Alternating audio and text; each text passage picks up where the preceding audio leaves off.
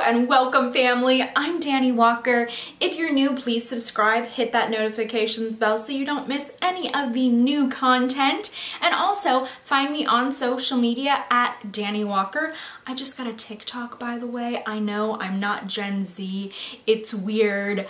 I really don't know how to use it, but please join me on there. It's just, it's just so, it's such a sad place for me right now. Normally during this time of year, I would be creating content for Miss USA. I would be there, we would be talking about preliminaries and all the activities, but because of the current situation of everything, and Miss USA is to be announced, I thought, why wait for the fashion?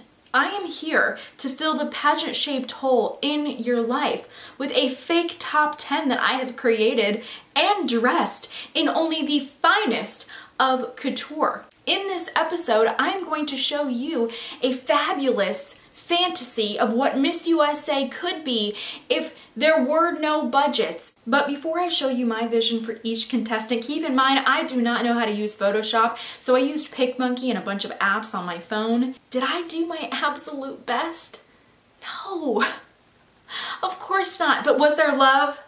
Yes, and that's what matters. If you decide to create your own fantasy dress up for this year's contestants, do me a favor, post that to social media, use my hashtag Dani Walker and also tag me at Dani Walker because I would love to see what ideas that you come up with. Kicking off our top 10 this year is Hawaii. Today, Hawaii is in a look that was inspired by Beyonce's pregnancy performance. When I think of Beyonce, I just think of that moment she was on stage and she had that halo on and she had this backlight and it was shining and it was glamorous and she was angelic and that was the look I wanted this year for Hawaii. So I put her in this gorgeous gold creation, but to make it a little more pageanty, give it a little bit of that pageant sexy, we dropped the neckline. We kept her natural hair styled as it is because it is so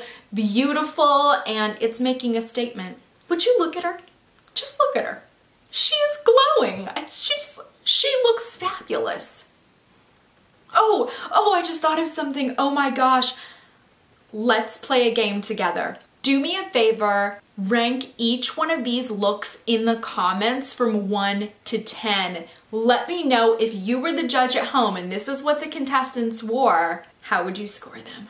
Oh, I really want to see. Next in our top 10 is New Mexico. Cecilia is no stranger to a ponytail and with that face, I thought, you know what, let's bring it back. Historically, Cecilia has worn some pretty simple gowns, so I wanted to be a little bit more over the top. I wanted to choose a very passionate color.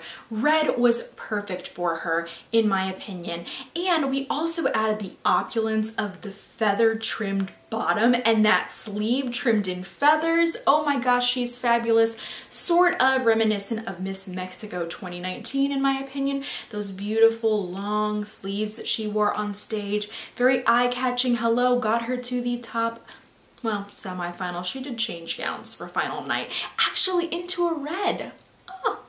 Look at that. Next we have Georgia. Judging by her photos, she looks like one of our more petite contestants, but she is also extremely fit. For her look, I really wanted to amp up her curves and her figure, so we went with a very extreme corseted waist. The bodice has some lift to it. Ugh, fabulous. I've seen her win and wear white. She wore white when she competed at Miss America. So for her debut at Miss USA, I thought, you know what, let's go with a bright color. She wore red at her state pageant, but this blue, it really pops. And that shine and that slit, just everything. And of course, as we mentioned her in my other episode about headshots, which if you wanna see that one, check it out right up here. She has an incredible jawline, amazing bone structure, and she needs to show that off. So we're gonna go with a nice pulled back ponytail. I really wanna bring back those ponytails that we used to see Miss USA's win in. It was such a fresh and clean look. Think Shandi, Miss USA 2004. That's what we're thinking ponytail wise. Loved that. And also, we accessorized her with some Harry Winston jewels. Why? Because only the best for our queens. Fabulous. If fashion really isn't your thing and you're struggling with your own evening gown, there is a link in the description below and that is my free dress guide. It is a checklist that I use and these are all the different things that I consider whenever I am dressing one of my own coaching clients. So you can download this for free and take it with you the next time that you are shopping for your own evening gown. Moving right along, she is California. Wow, California style at her state pageant, there really wasn't anything to change. This is one of those situations where if it ain't broke, don't fix it. But we want to be exciting. Let's put her in a new dress. So I still wanted to go with the softer, more muted colors. I liked the V neckline that she had going on, so we kept that. But even though this color is muted, it's very feminine and soft, it is still fully covered in beads and rhinestones. We're, we're really bringing that pageant factor out. Just to make sure that it doesn't look too stiff, there is this beautiful piece of flowing organza behind it. Oh my gosh. And we also went with this nice little asymmetrical one shoulder look. For her styling, we kept her same hair, her same earrings. She doesn't need a huge dangling earring to draw attention up because her face does it for her. I really hope that she goes with a look similar to this. Ladies, please consult with me first before you make these decisions. Next we have Connecticut and oh my gosh, have you seen her waist? We had to accentuate that. I'm putting her in a gown that was one of the options for Miss Vietnam 2019 at Miss Universe. She never ended up using this gown for the pageant, but I thought it has never seen the pageant stage and it needs to be there. It needs to be unveiled. So we went with this look. Of course, we have some beautiful custom Stephanie Summers earrings. They're a dangle bead Swarovski look. And then her hair is just loose and big voluminous curls just tossed over to one side. Very Fadil. I'm telling you, this is the look she needs to bring this year. We need to see this at the pageant. If you are loving this episode and you want to show your support, make sure to screenshot this, post it to an Instagram story, and tag me at Dani Walker with your thoughts and also tag your favorite contestants. One of our big front runners is next, and she is New York. For New York, I've noticed in the past she wears these big, bright, bold colors on stage. Typically, they're very rhinestoned out, but with her face and with her figure, I really didn't think that she needed it. I wanted to go more Hollywood, not trying so hard type of look, not super pageanty, so we went with this beautiful custom purple style that is going to pop on stage. We went with those big, wavy Hollywood glam type of curls. Also, she has some beautiful jewelry. She's wearing, of course, real diamond earrings and a necklace. And if you notice these details on her necklace, it doesn't fully connect. It has more of a modern vibe, a modern look. So we went with some really unique jewelry and of course just showcased her physique by really cinching in that waist, showing off the leg and all of her curves. Oh my gosh, she would look fantastic in this. Up next is Idaho. And let me tell you, she is no potato. Kim is a hidden gem if you have not already realized. I put her in another one of Miss Vietnam 2019's options for Miss Universe that was never worn. I wanted to really create a statement and have that effect that we saw at Miss Universe 2018 when Vietnam walked on stage in that beautiful yellow flowing chiffon creation. I want that effect for her because not many contestants wear a lot of chiffon anymore at Miss USA. It has lost its popularity, so I want to see her in this beautiful, bright, flowing fabric on stage. Also, because Kim has rather thick hair, which I know, it doesn't hold a curl so well, it's heavy, it's harder to style, it takes longer to dry, there's all those things that come with it.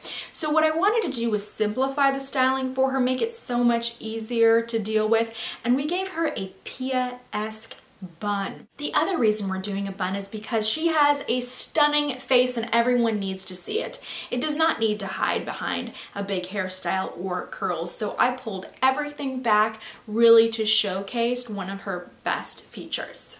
Next on our list is Oklahoma. For Oklahoma, I wanted her in a gown that didn't scream, I miss Oklahoma. What I was going for is something more daring like what Olivia Jordan did when she showed up at Miss USA. She opted for a bright pink ball gown, something we don't usually see, especially for a Miss Oklahoma, that was by Sherri Hill, but it was modeled after a Dior black couture ball gown. It was very unique. So I wanted to go with something truly eye-catching, but because there's so much going on with the dress, we're keeping her styling simple. We're gonna go with some really great soft, straight hair. She's not gonna be wearing tons of dark eye makeup or dark lip color. And then she has oversized Stephanie Summers couture earrings that are mimicking the patterns that are on her dress because we still wanna bring the glam. If you wanna see some of my other favorite contestants, check out this episode right up here. Has all my first picks and faves, even though these might change as we get closer to the pageant. Up next is Texas. Texas won her state pageant in one of my favorite looks for the 2020 pageant season. She had her hair slicked back in this beautiful Sherri Hill Couture yellow gown, which actually we've seen variations of it before, even during my year at Miss USA. I loved this entire look and how it was styled. So I wanted to do something that really reminded me of that, but also reminds me of Zuleyka, who was Miss Universe 2006. That slicked back, wet sort of looking hairstyle is not easy to pull off. And you need a beautiful, not beautiful, you need a gorgeous face for it. And Texas has that in spades. So what I decided for her was yes to recreate that slicked back hair look like let's bring it back for Miss USA but we are going to put her in a metal dress a la Miss Universe 2006 because she's going to be like Mercury just gliding and slinking across that Miss USA stage, inching closer and closer to that crown. I just wanted something that was super different. I didn't want to go with a typical fabric for her, but also something that I feel she could definitely pull off. So we went with this fabulous metal couture style for her. Rounding out our top 10 is Nevada. Boy, is it hard to top her state gown or what? That creation was phenomenal and I don't really know what more you can do for Miss USA because she really set the bar. But since she's going to Miss USA, we're going to give her a new style here. So I really loved the sleeves that she had going on for her gown. So I wanted to bring those back. But instead of just putting her in a typical gold metallic, what we're doing is we're going to change this up and it's going to be a really, really yellow gold.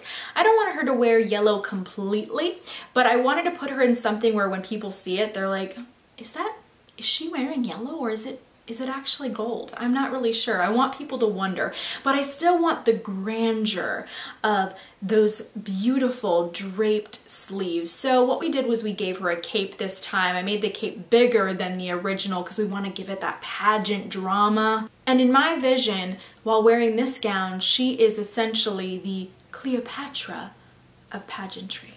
These are my hypothetical top 10. I'm not saying that these are the contestants I think that will place at Miss USA, but I thought it would just be something really fun to do. And if you love these looks and if you want to work together, styling is something that I do for my coaching clients. So if you want more information, head over to DaniWalkerOfficial.com for that. Aside from that, thank you so much for clicking on this episode. Please do me a huge favor if you had fun watching it and enjoyed it, please share it with your friends. Just screenshot this, share this on social media.